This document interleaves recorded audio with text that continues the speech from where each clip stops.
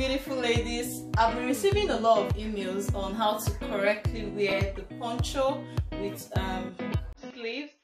So um, yeah, I just want to do a quick video on how to wear it you know, the right way. So this is how it looks. These are the sleeves. They're actually called bat sleeves because you can see how short they are.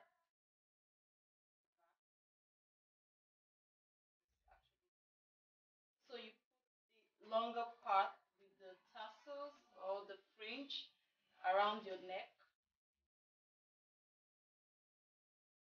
And then the part of the part that has the sleeves is actually at the bottom and then you slide in your arms in here. And yeah, you're good to go.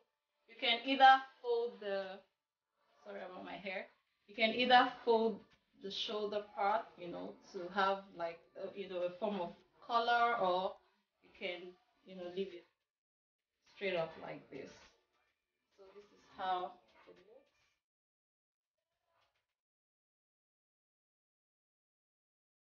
Beautiful. And mind you, um, the poncho you see or you get from www.chrestelle.com actually comes with a pearl brooch that you can use to fasten it together so you can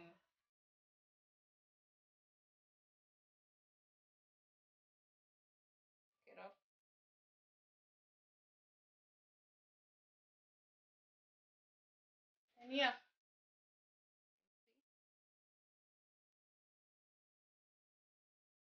So you don't have to keep holding or making sure that, you know, it stays together with the brooch. Oh yeah, you're good to go. So we also have this in pink and tan or nude color. If you go to the website www.chrestelle.com, you'll find it there under the shawl, wraps, and ponchos section of the site. So yeah, so that's it.